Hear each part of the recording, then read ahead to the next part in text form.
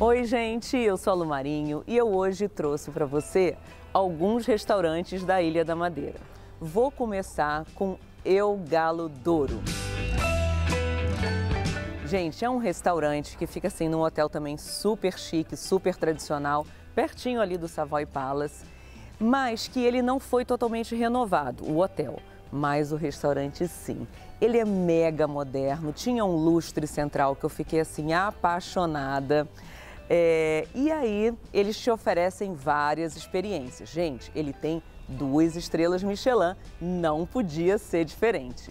Então ele oferece aqueles, aqueles menus degustação, você tem de 5, de 7, de 12. Eu escolhi o de 12. Vou te dizer por quê. São porções super pequenininhas, mas você consegue sentir, entender qual é a cozinha desse chefe. E assim posso te dizer que foi uma experiência maravilhosa. Eles também tinham um sommelier que combinava os vinhos com esses pratos. Assim, impecável, super recomendo. E o segundo que eu vou te contar é chama The Wanderer ele tem o chefe chamado Selim. E esse chefe, curiosamente, trabalhava com digital marketing, né?